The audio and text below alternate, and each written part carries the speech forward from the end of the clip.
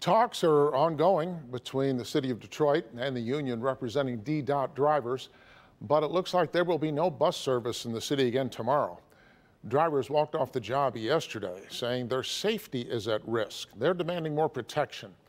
This situation was sparked by the firing of bus driver Jerome Dillard. Video captured a confrontation between Dillard and a bus rider who refused to wear a mask. When the rider removed a chain put up for social distancing, the bus driver went after him with fists flying. He snatches the chain in an aggressive move.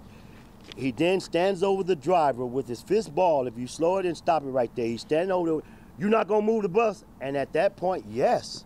I mean, wh- how much do I have to take before I defend myself? I got to tell you, I, I'm disturbed by the response. It wasn't go back to your seat. It wasn't stay back behind the line.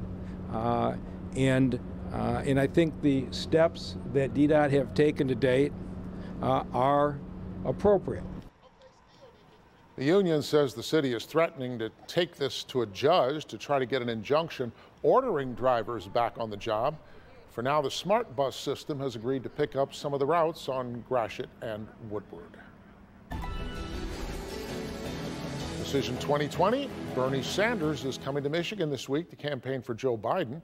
Sanders will be in Michigan on Monday. The Biden campaign says Bernie will speak to college students in Ann Arbor and then host a drive-in rally in Macomb County.